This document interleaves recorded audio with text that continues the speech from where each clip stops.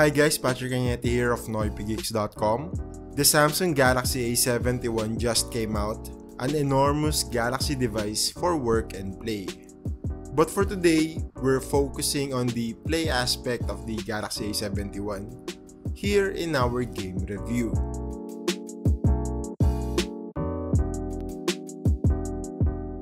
Before we proceed, let's take a look at the hardware that we'll be working on here.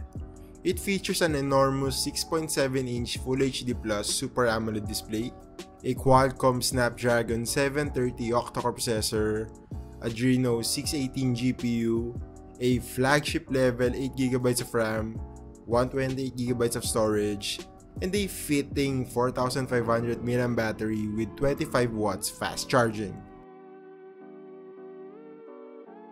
And if you're interested, it also comes with a quad camera setup on the back, as well as a 32 megapixel punch hole camera on the front.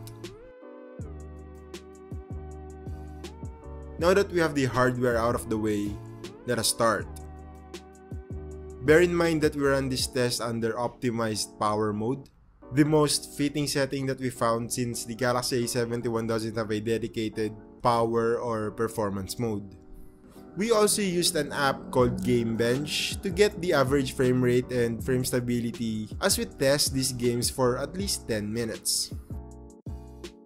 First on the list is Mobile Legends, the most popular and competitive game in the industry today. Despite being the most played title, Mobile Legends is actually not the most resource-hungry game in this test. That's why we were able to run it with all the graphic settings set to high and the quality at ultra. Under those maxed out settings, GameBench recorded a steady average frame rate of 60 FPS with 96% stability. That is the highest frame rate that the display supports. This translates to very smooth gameplay at stunning graphics. With that, it will now purely up to your skills to win the game. No more excuses.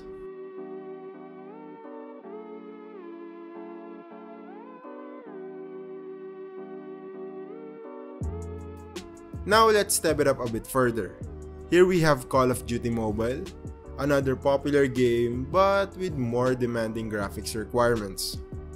But despite its advanced graphics, this game is actually very optimized, which is why we were able to run it at high graphics quality and high frame rates. We also have the real-time shadows enabled and graphics styles set to realistic. Call of Duty was so optimized that we were able to run it at an average frame rate of 58 FPS with 83% stability.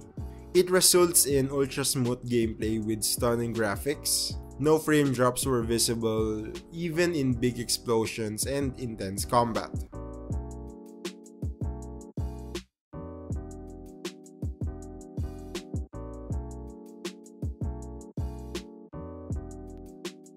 This next one is for the basketball fans out there. Here we have NBA 2K20, a mobile alternative to the popular console and PC game. With its highly optimized construction and the powerful hardware on the Galaxy A71, the game was playable at high graphics settings. Almost all of the tabs are set to high, although the depth of field effect and cloth simulation are off, and the crowd quality is set to medium. Under these settings, the game was playable at an average of 51 FPS with 98% stability. It should feel as smooth as the Mobile Legends, although it dips when the game is heated up or as it transitions to cutscenes.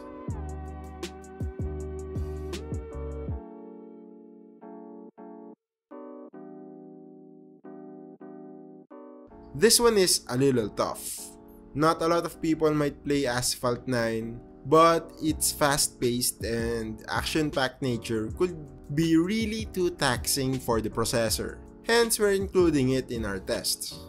Unlike the other games, you can fine-tune the graphics settings on the Asphalt 9.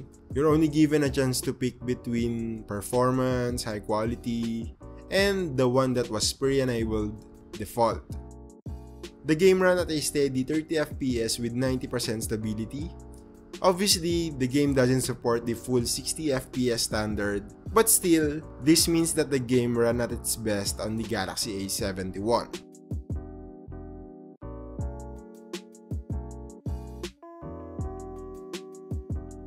So, can you game on the Samsung Galaxy A71? Well, as what you just saw, the answer is a big yes. Its powerful Qualcomm Snapdragon 730 processor and Adreno 618 GPU, partnered with a generous 8GB of RAM, can handle pretty much all types of games available without a hitch. The best part is, you can enjoy all this game on a large and vibrant 6.7-inch Super AMOLED display. There's also the enormous 4500 mAh battery that guarantees long gaming sessions. If you're interested on this device, the Samsung Galaxy A71 is available nationwide for a price of 22,990 pesos.